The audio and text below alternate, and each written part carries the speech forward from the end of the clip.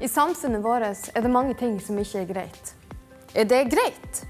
Men Giske, jeg står her med en rapport som sier at det ikke er greit. Er det greit? Til vårt studio kommer både de som er for, og de som er mot det som er greit. Jeg står her med ei som gråter. Og jeg spør deg, som leder for landets største politiske parti, er det greit? Jeg står her med ei alenemor. Er det greit? Konflikt hver onsdag her på 58 Nyhetskanalen. Greit?